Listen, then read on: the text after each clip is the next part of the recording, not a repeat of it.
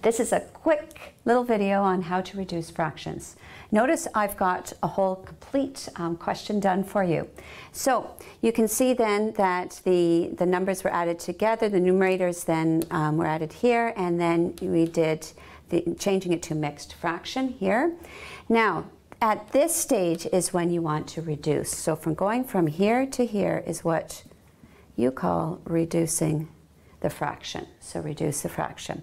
And by reducing the fraction, it means find the common factors that are in both of these that will divide out so that you've got the, the most reduced fraction. In other words, you cannot divide out um, fractions beyond that. Any, there's no factors that are common to them. So, what is common to this and this? The only numbers that can be common to both of those are those numbers that are at least in here. But as instead, what you want to do is have a look at this number and see what numbers can divide into here and into here. Well, you know, the only numbers that can divide into there are these ones. And the rule for if you've only got two factor or two fractions when you start with, and those are the only two fractions that are in reduced form, then you just have to find those numbers which are common in these um, prime factor phrases. So the only two would be 7, 7 and a 13. And in fact, the 7 squared might even divide into both of these. You know it will divide into this. It might, it might divide into that.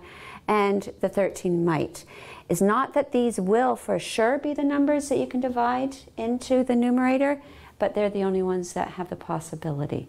So in this case, you can actually divide by a 7 and you can divide by a 13 and only one 7 only one 13 and you divide by 7 and divide by 13 for the numerator you get that for the denominator you get that now if you've got more than just two fractions what you have to do is check all of these after you add and you put into mixed form okay so these are the only ones that will go in the denominator so those are the only ones you check for the numerator and see if they happen to divide into it.